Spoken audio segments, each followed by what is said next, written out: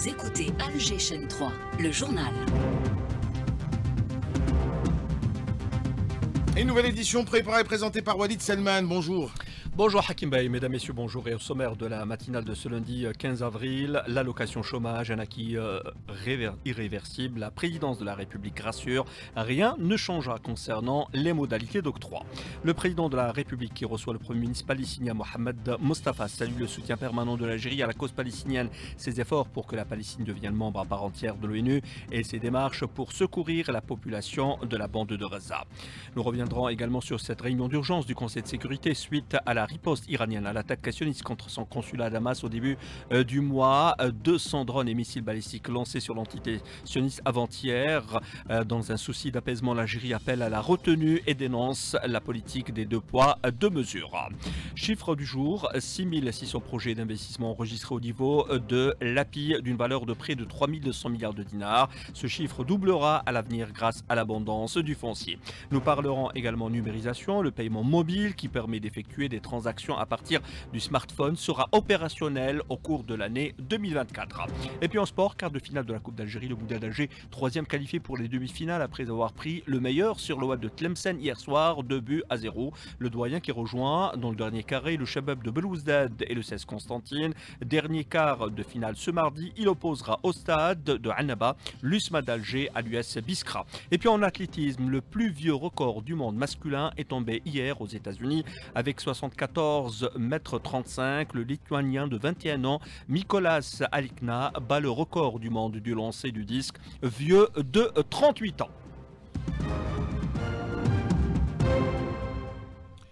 Et pour entamer cette édition, euh, la première info, l'allocation chômage, un acquis irréversible de la euh, présence de la République rassure.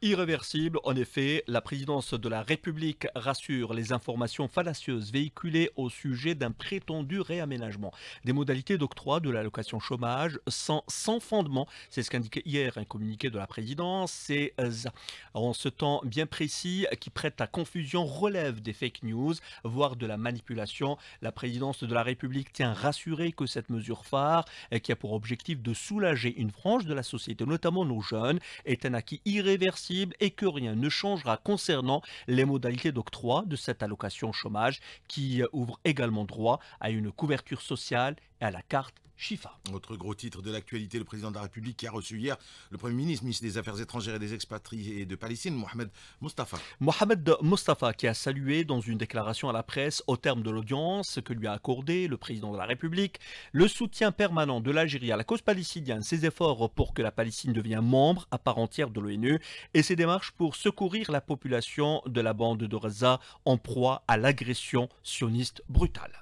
قدمنا لفخامة الرئيس Nous avons tenu à présenter nos remerciements au président de la République pour les efforts qu'il fournit au sein du Conseil de sécurité pour défendre les droits du peuple palestinien de manière générale et l'adhésion complète de la Palestine aux Nations Unies. Ces jours-ci, le président de la République a assuré de la poursuite de ses efforts jusqu'à ce que la Palestine devienne membre à part entière de l'ONU et par la suite l'indépendance de la Palestine.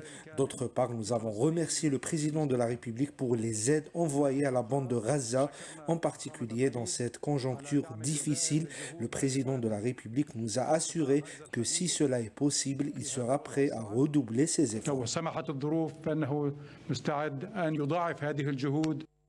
Déclaration du Premier ministre euh, palestinien à l'issue de l'audience accordée par le président de la République, le Premier ministre euh, palestinien qui a été reçu également par son homologue Nadir Al-Arbawi et euh, le ministre des Affaires étrangères, deux audiences sur lesquelles nous, lesquelles nous reviendrons dans un petit moment. Le temps de rappeler que le président de la République a reçu également hier le ministre des Affaires étrangères de la République de Biélorussie, Sergei Alenk. Sergei Alenk qui a affirmé avoir remis au président de la République un message de la part de son homologue Alexandre Lukashenko en vue des une forte dynamique aux relations unissant les deux pays. Cette rencontre a permis de passer en revue les relations bilatérales. Il a été convenu de tenir les premières assises entre l'Algérie et la Biélorussie pour le développement de la coopération dans les domaines notamment du tourisme et de l'éducation. Cette rencontre a permis également de souligner la nécessité d'appuyer les efforts de toutes les organisations internationales pour un monde multipolaire. Nous vous disions, le Premier ministre palestinien, ministre des Affaires étrangères, a eu des entretiens avec son homologue Nadir Arbawi après ceux tenus avec le ministre des Affaires étrangères, Ahmed Attaf, qui a relevé dans ses propos et rappelé les instructions du président de la République données en ce qui concerne le soutien indéfectible à la Palestine, Ahmed Attaf.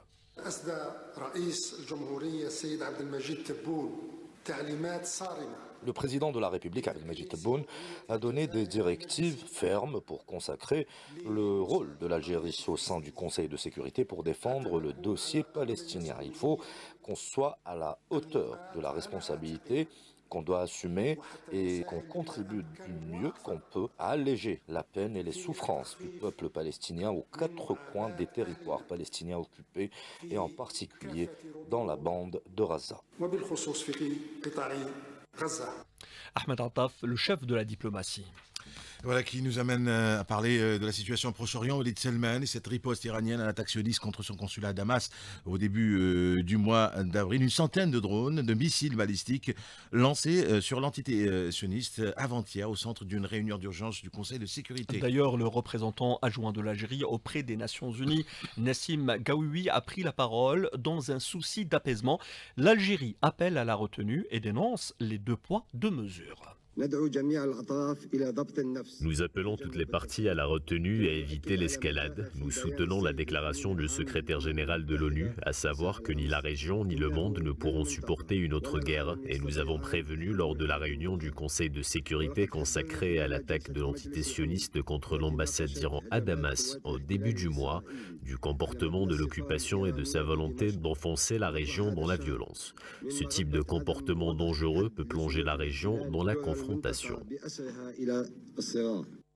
et l'Algérie, euh, qui par la voix toujours de son représentant adjoint aux Nations Unies, remet les choses dans leur contexte et indique qu'il faut revenir aux fondamentaux et que toute paix euh, ne euh, passera que par l'établissement d'un État palestinien avec El-Quds comme capitale et la restitution de toutes les terres arabes. Nous demandons un cessez-le-feu immédiat à Gaza et l'arrêt immédiat des massacres et la punition collective du peuple palestinien. La paix et la sécurité dans la région ne seront possibles que si on permet au peuple palestinien d'exercer son droit légitime et en mettant fin à l'occupation israélienne de tous les territoires arabes.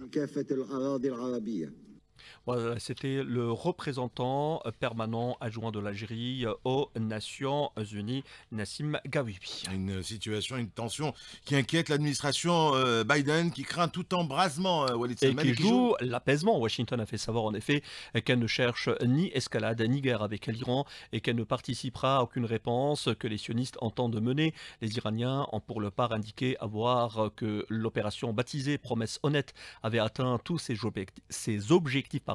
et qui n'entendait pas aller plus loin, sauf en cas de nouvelle attaque de l'entité sioniste. Par euh, ailleurs, le G7 réuni en urgence également hier par visioconférence a appelé toutes les parties à la retenue Téhéran à convoquer dans la soirée les ambassadeurs de France, de Grande-Bretagne et d'Allemagne suite à cette position exprimée pour dénoncer la, politique des deux poids, deux mesures dans leur réaction. Sur le terrain, Gaza, cinq Palestiniens ont été blessés l'aube euh, dans des bombardements de l'occupant sioniste ayant visé les environs de l'hôpital européen au sud de Khan Younes. L'artillerie de l'occupation sioniste a également ciblé intensément le sud-est de la ville de Reza. Le bilan de l'agression génocidaire sioniste contre la bande de Reza s'est alourdi pour atteindre 33 729 martyrs et plus de 76 000 blessés depuis le 7 octobre dernier.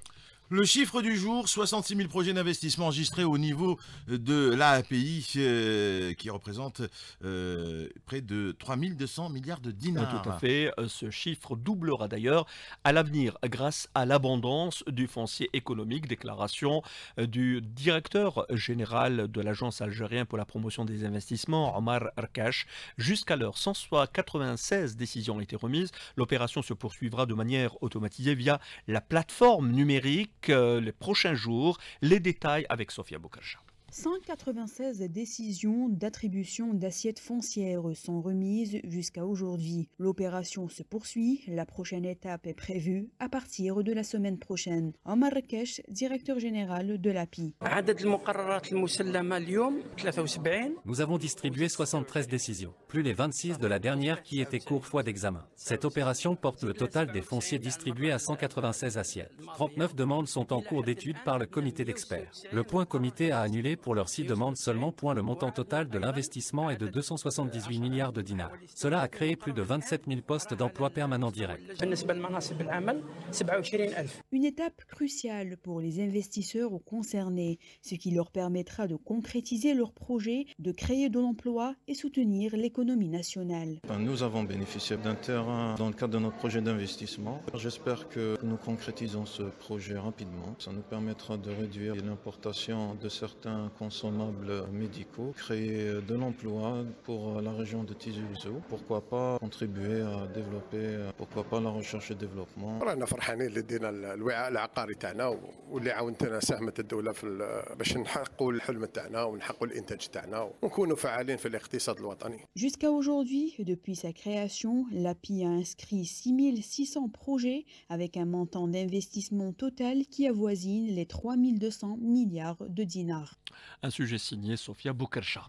Et dans le sillage des, euh, de la digitalisation, numérisation des transactions bancaires, Odile Senmel, le paiement mobile qui permet d'effectuer des transactions à partir du smartphone, mais il sera opérationnel au cours de l'année 2024. En effet, l'interopérabilité entre les différents acteurs du paiement mobile est au cœur de ce projet. Les transactions pourront être effectuées même si la banque de l'émetteur, à savoir le payeur, est différente de celle du bénéficiaire. De quoi généraliser davantage de nouveaux modes de paiement traçables, sécurisés et pratiques. Sami Alon. Le paiement mobile présente de multiples avantages comme sa facilité d'accès et d'utilisation par un grand nombre de personnes, en plus de la sécurité et de la traçabilité de chaque transaction effectuée. Yazid Aguedal, membre du conseil administratif du groupement algérien des acteurs du numérique. Pour sa mise en place, je pense que c'est moins complexe qu'avant, puisqu'il y a une partie technique qui est relativement maîtrisable par l'entité actuellement qui est responsable du e-payment par les cartes bancaires. Y a un système à mettre en place, un système informatique avec une infrastructure. Dans le e-payment classique, c'était les banques. Là, on a un nouvel acteur qui est les opérateurs télécoms qu'il faut interconnecter à ce système. Donc, il y a tout l'aspect réglementaire. Il y a la partie commerçant sur laquelle il faut travailler aussi. Des entreprises algériennes se spécialisent justement dans la technologie financière et proposent à leur tour des innovations pour contribuer à la généralisation de ce type de paiement. Riyad Khellafi, directeur commercial de la FinTech SlickPay Algérie. Nous avons développé une innovation qui permet aux commerçants d'intégrer un terminal de paiement directement dans leur smartphone. Pour vous donner un exemple, lorsqu'un client se présente à la caisse, le caissier saisit simplement le montant, un QR code s'affiche, le client scanne le QR code pour effectuer son paiement,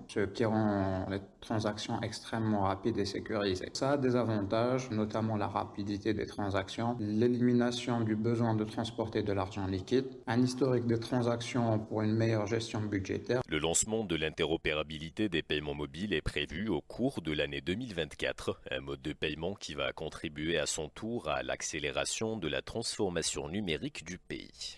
Et du sport pour terminer, football avec les quarts de finale de la Coupe d'Algérie, le Moudal d'Alger, troisième qualifié pour les demi-finales après avoir pris le meilleur hier soir sur le Watt de Tlemcen, 2 buts à 0. Le doyen qui rejoint dans le dernier carré le Shabab de Belouzdad et le CS Constantine, dernier quart de finale ce mardi.